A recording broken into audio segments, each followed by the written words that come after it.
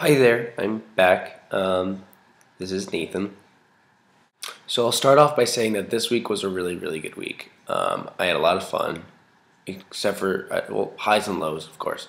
But um, some highlights, you might say. Um, Wednesday was Pi Day. If you don't know what Pi Day is, it's a day to celebrate the mathematical constant pi. Uh, it's that's done by making pie um, and eating said pie. So Webb uh, had a pie Day competition uh, where each class uh, makes a pie and then uh, the they're then consumed and judged by the faculty.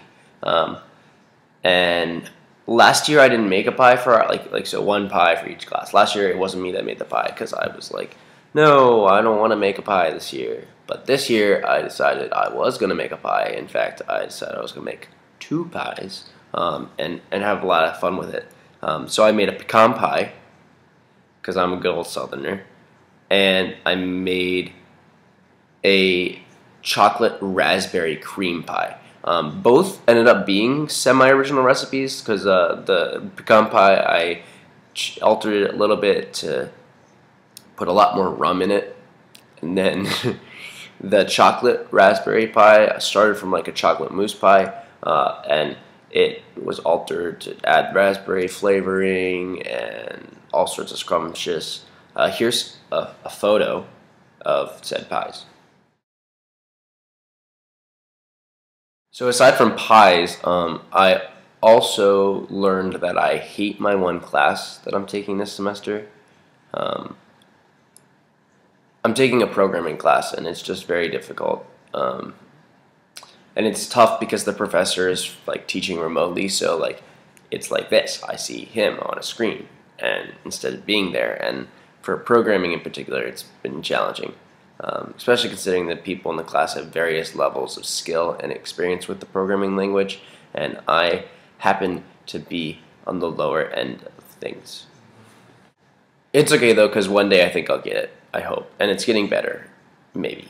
Yes, I think so. Um, but last news, biggest news, coolest news ever. Um, so my first video I told you that I, there were a lot of projects that I was involved with. One happens to be the promotion of STEM education, uh, specifically through two means. One is a foundation that I helped start called the U.S. STEM Foundation. Go figure. Uh, which operates in Northern Virginia and is building a community center to promote academics, uh, sort of the way you'd have like public athletic fields instead, an academic center. Um, and then the second is through U.S. First Robotics. Um, and basically, what that is, it's a competition that I was involved in in high school, and now I'm a mentor and I volunteer at local regionals. Um, but the moral of the story is my team, Team 1885, ILITE Robotics, based out of Northern Virginia. Uh, I mentored them this winter for eight weeks, and uh, they did a great job. The kids were great. They learned so much, and it was totally evident because this weekend, uh, like Thursday, Friday, Saturday, they competed at the Virginia Regional at Virginia Commonwealth University, or VCU, and they won, actually. They won two awards, and I happen to be pretty proud because the two awards they won were two awards that I mentored them in. One was the website award, so go to www.iliterobotics.org to see our winning website, which uh, those kids that helped make that, um, I worked with them the entire time, and go them. Um, so I'm really proud of them. Uh, and just wait till next year when it's going to be way better too. Uh, the second, and even biggest, was we won the Regional Chairman's Award, which is the highest honor you can win.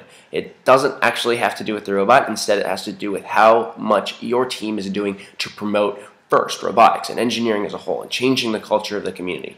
And uh, I helped mentor some of the students in how to do public speaking and business plans and being an all around engineer, not just an engineer who can build a robot to accomplish just a goal. So we won Chairman's, first time ever, best thing ever. Uh, two weeks' time, they're going to compete at the Washington, D.C. regional. And the best news since we won re- the Regional Chairman's Award, it means we get to go on to the World Championships to compete for the Chairman's Award globally. Now, if we win that, all of the students get to go meet the president, have like a special dinner with him uh, at the White House, and all sorts of exciting things. Plus, it's a huge honor for them and true representation of all their great accomplishments. So, way to go, Team 1885.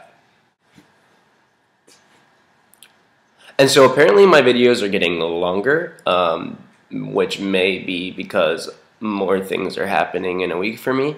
Uh, and I guess I have an exciting life or something. But um, yeah, that's all I guess I have for this week. Next week should be an exciting update too. Um, lots of school things I'm looking forward to. Um,